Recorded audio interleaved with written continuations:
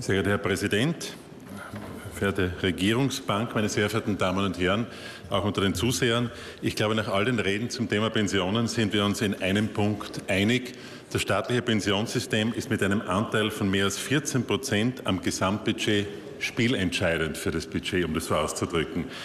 In Zahlen 11 Milliarden Euro, 11 Milliarden Euro von einem Gesamtbudget von, in der Höhe von 77 Milliarden Euro.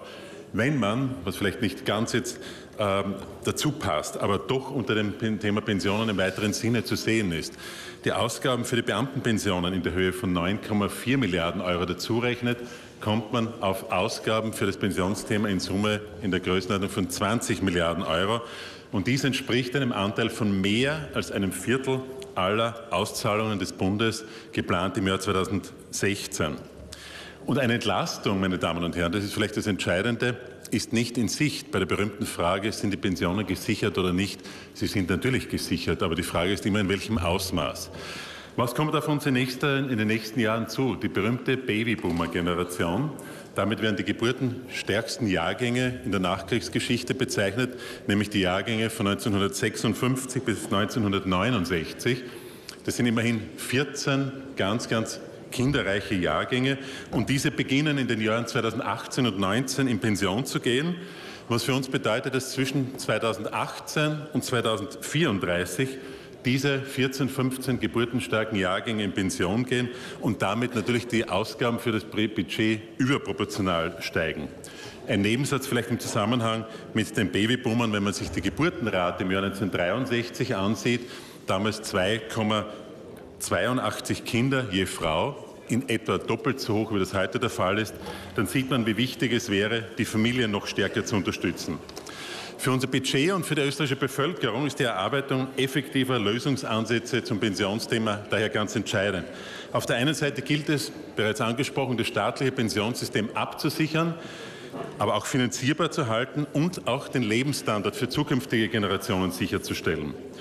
Dies lässt sich mit einem klaren Fünf-Punkte-Programm umsetzen. Ein Fünf-Punkte-Programm, dem ich eine Präambel voransetzen möchte. Die Präambel lautet schlicht und einfach, dass es bei uns in Österreich sehr, sehr wichtig wäre, wieder bewusst zu machen, dass Arbeiten keine Schande ist und auch länger Arbeiten keine Schande ist. Sonst beginnt der ein oder andere Radiosender Montag in der Früh darauf hinzuweisen, dass das Wochenende das nächste Jahr bereits in viereinhalb Tagen auf uns zukommt.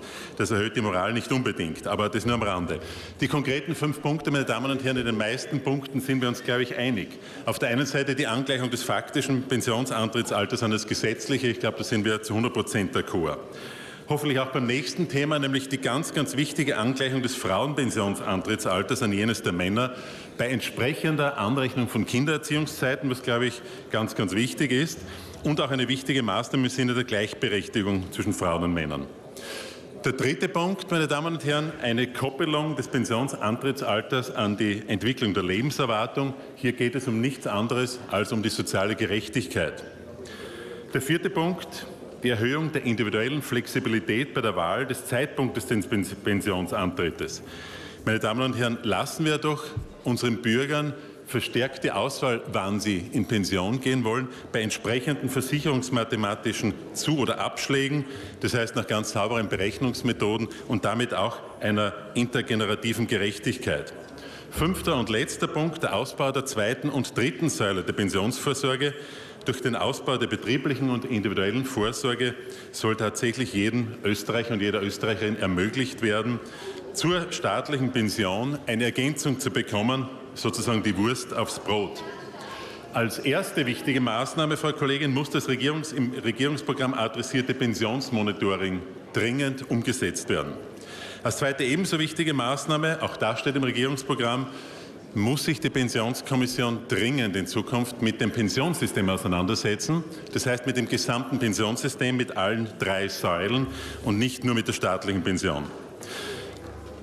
Diese Dinge, meine Damen und Herren, sind umzusetzen. Immerhin haben wir, wenn man das Regierungsprogramm jetzt zitiert, bald die Halbzeit der Legislaturperiode erreicht und wir können nicht immer auf die Rapidviertelstunde warten. Für das Thema Pensionen gilt wohl mehr wie für jedes andere bei uns im Lande. Die Reformen müssen umgesetzt werden, dann und dann tatsächlich besteht die Sicherung der Pensionen auch für die nächsten Generationen. Dankeschön. Andreas Zakostelski ist doch nicht, wie von mir behauptet, der letzte Sprecher dieser Debatte. Es gibt nämlich eine Nachtragsmeldung des freiheitlichen Peter Wurm zu einer tatsächlichen Berichtigung.